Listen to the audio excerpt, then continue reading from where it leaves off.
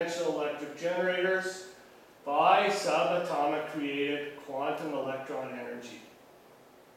Video number two, how to perform positive work with subatomic created energy at infinite, at infinite efficiency by introducing a load current delay into the generator coils operation. Video number three, ReGenX quantum motor and ReGenX generator both operating at infinite And uh, that's basically it for this video. I will leave the last word to Nikola Tesla.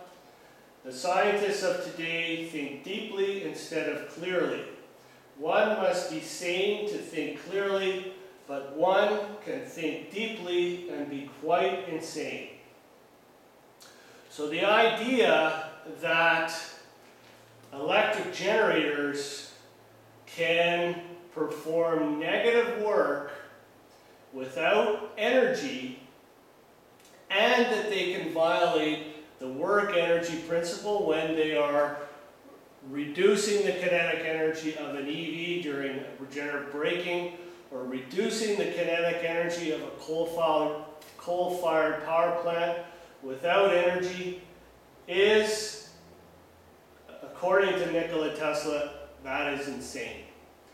Uh, the work energy principle again states that positive and negative work both require energy and the energy that is required in order to perform positive negative work is subatomic created quantum uh, electron energy and the difference between conventional generator, less than 100% efficiency, and ReGenX generator, infinite efficiency, is the load current delay, which you can see in video number two. So again, in the description box, I'll put some international uh, replications that anybody can use in order to build their own infinite efficiency ReGenX quantum motor. The ReGenX quantum motor is the easiest thing in the world to replicate.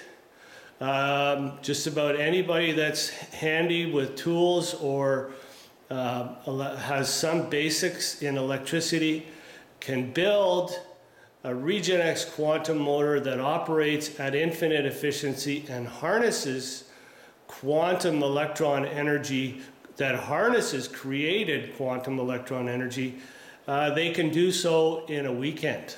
It's not. It's the. It's basically the easiest thing in the world to do. Um, and it's been done.